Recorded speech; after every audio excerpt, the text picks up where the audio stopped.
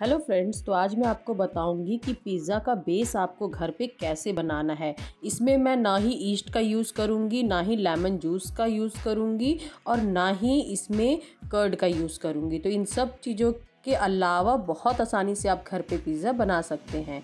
और इसमें मैं आटे का पिज़्ज़ा बना के दिखाऊँगी। तो यहाँ पर मैंने दो कटोरी आटा लिया है। इसमें मैं आधा चम्मच चीनी डाल रही हूँ और आधा चम्मच नमक। आधा चम्मच बेकिंग सोडा। ये जो मैंने आटा लिया है, ये तीन सौ ग्राम के आसपास है और एक चम्मच बेकिंग पाउडर। दो चम्मच डालूँगी मैं कुकिंग ऑयल, कोई भी ऑलिव ऑयल या फिर रिफाइंड ऑयल आप ले सकते हैं। अब इन सबको अपने हाथों से मिक्स कर लेना है। हमने ऑयल डाला है तो इसलिए थोड़ा हाथों से अच्छे से मिक्स कर लेना है, जिससे कि इसमें बिल्कुल भी गांठें ना बने। अब इसमें थोड़ा थोड़ा पानी डालते हुए हम इसे गूथ लेंगे। एक ही बार में बहुत ज़्यादा पानी नहीं डालना है, क्योंकि हमें जो बैटर बनाना है, वो बहुत ज़्यादा स्टिकी बनाना है तो हमें इसके लिए धीरे धीरे पानी डालते हुए इसे गूँथते रहेंगे। ये देखिए, मैं आटा गूँथ रही हूँ। हाथों में भी थोड़ा सा लग रहा है। आप चाहें तो इसी तरीके से देखिए, स्टिकी आटा मैंने गूँथ लिया है। बहुत ज़्यादा टाइट आटा नहीं गूँथना है, थोड़ा सॉफ्ट ही गूँथना है। देखिए, मेरे हाथों में कितना लगा हुआ है। आप चाहें तो इसी मेथड से मैदे का भी बेस बना सकते हैं। मैं आटे का यूज़ कर रही हूँ। अब थोड़ा सा तेल लेंगे और तेल ऊपर ऊपर लगा के इसको चारों तरफ़ से हम कवर करेंगे।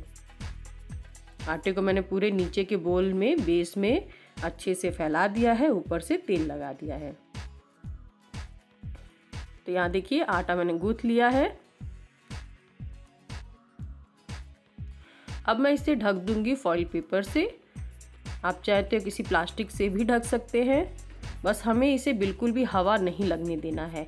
अब यहाँ पे ढक के इसे दो से तीन घंटे के लिए हमें इसे रखना है, जिससे कि आटा अच्छे से फूल जाए और भी ज़्यादा स्मूथ एंड स्टिकी बन जाए। तो दो से तीन तीन घंटे मैंने रखे थे, तीन घंटे कंप्लीट हो गए हैं। चलिए ओपन करके आपको मैं दिखाती हूँ। तो यहाँ देख सकते हैं, आटे का जो फॉर्म है वो कितना अलग हो गया है। हमने कितना स्टिकी आटा गूँथ के रखा था, यहाँ देखिए कितना सॉफ्ट बन गया है। मैं हल्का सा प्रेस कर रही हूँ तो आटा अपने आप ऊपर आ जा रहा है, इसका मतलब कि आटा अच्छे से फुल गया है। अगर आपके तीन घंटे में भी नहीं आटा फुल रहा है तो आप एक घंटे के लिए और रख सकते हैं। अक्सर ठंडी के दिनों में ही दिक्कत आती है तो ठंडी के दिन में चार से पाँच घंटे भी लग सकते हैं इसको फुलने के लिए। अब मैं नीचे स्लैब पे ही थोड़ा सा आटा स्प्रिंकल करूँगी।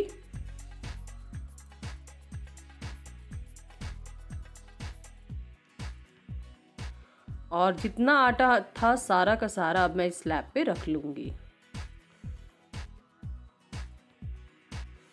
आटा बहुत ज़्यादा चिपचिपा है, इसीलिए मैं यहाँ पे आटा थोड़ा सा एक्स्ट्रा यूज़ कर रही हूँ। देखिए, हाथों में कितना चिपक रहा है। अब हम इसे हाथों में थोड़ा सा तेल लगा लेंगे जिससे कि आटा हमारे हाथों में ना चिपके और इसे हम फैलाते हुए फोल्ड करते रहेंगे। एक बार फोल्ड करना है, फिर फैलाना है, फिर फोल्ड करना है, फिर फैलाना है। आप चाहें तो ये प्रोसेस दो से तीन बार भी कर सकते हैं। तो देखिए, मैंने एक बड़ा सा फिर से फैला लिया है और मैं इसे एक बार और फोल्ड करूँगी। फोल्ड करते हुए हमें इसे प्रेस करते रहना है।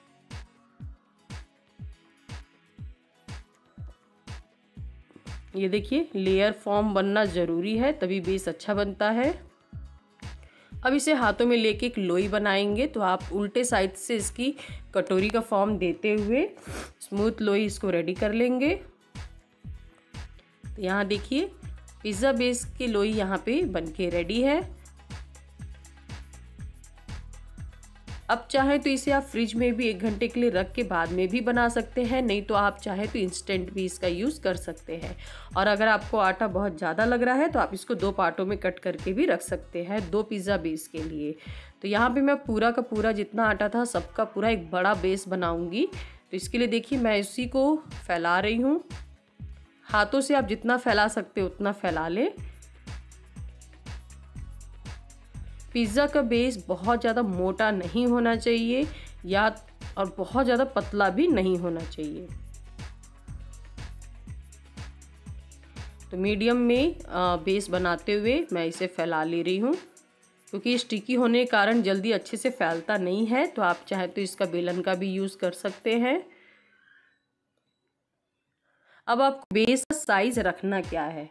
तो ये आपको सबसे ज़्यादा ध्यान देना है। तो आपको जिस भी चीज़ पे बेक करना है, जैसे मैंने यहाँ पे माइक्रोवेव ट्रे में बेक करूँगी तो उसका साइज़ देखो, मैं उल्टा करके चेक कर ले रही हूँ कि उससे बड़ा तो नहीं है तो उससे छोटा ही है। छोटा चल सकता है, बड़ा नहीं होना चाहिए। तो यहाँ पे मैं सारा का सारा बेस उठा के ट्रे पे रख दूँगी। लेकिन ट्रे पे रखने से पहले थोड़ा सा आटा मैं लगा दे रही हूँ, जिससे कि बेस में जब हम कुक करें माइक्रोवेव में तो वो ट्रे में चिपके नहीं। तो ऐसे फैलाते हुए जो एक्स्ट्रा आटा है, वो भी निकाल देना है, नहीं तो बहुत ज़्यादा आटा नीचे लगा रहता है तो जब हम खाते हैं तो मुँह में वो आटा आता है। तो एक्स्ट्रा आटा जो था, वो मैंने हटा दिया है। अब मैं इस बेस को उठा के उसी ट्रे पे रख दूँगी। ध्यान से उठाना है। आप इसका मोटापन देख सकते हैं, मैंने बेस का कितना है। तो ये देखिए, अभी छोटा ही है। तो मैं, आप चाहें तो इसके ऊपर भी थोड़ा थोड़ा फैला के और बड़ा कर सकते हैं। उठाने में भी क्या होता है कि बेस थोड़ा छोटा हो जाता है। तो देखिए, मैं हाथों की मदद से ही फैला ले रही हूँ। अब दो इंपॉर्टेंट काम आपको और करने हैं। वो क्या? तो साइड साइड में आपको एक बॉर्डर लाइन बनाना है, जिससे कि जब हम चीज़ डालें और वो पके तो मेल्ट हो तो बाहर ना निकले। तो उसके लिए आप हाथों से ही एक बॉर्डर बना सकते हैं, साइड साइड में थोड़ा सा मोटा सा। तो देखिए, मैं अभी आपको बना के दिखाती हूँ। तो ये देखिए, मैं कैसे बना रही हूँ। एक बॉर्डर बना देने से साइड का थोड़ा सा हिस्से जो होते हैं बॉर्डर लाइन वो मोटी हो जाती है, अंदर का पतला रहता है। तो इससे जो पिज़्ज़ा है वो मेल्ट होकर बाहर नहीं निकलता है। और दूसरा इंपॉर्टेंट काम आपको करना है कि फोक की मदद से आपको यहाँ पे स्प्रिंकल्स करने हैं, छेद करने हैं। तो देखिए, मैं कर दे रही हूँ। आप चाहें तो चाकू का भी यूज़ करके छेद कर सकते हैं। जिससे कि जब हम बेस को हम कुक करें पिज़्ज़ा को कुक करें तो वो अंदर तक हीट जाए और जो बेस है वो भी अच्छे से कुक हो सके। तो यहाँ पे मैंने पूरा स्प्रिंकल जहाँ जहाँ मुझे लग रहा था वहाँ मैंने कर दिया है। बहुत ज़्यादा भी नहीं करना है, नहीं तो बेस फट सकता है। तो लीजिए फ्रेंड्स, यहाँ पे पिज़्ज़ा बेस बन के रेडी है। इसी तरीके से आप भी बनाइए, बहुत टेस्टी बनता है और इसमें बिल्कुल भी शिकायत नहीं आती है कि ये बेस कच्चा रह जाता है।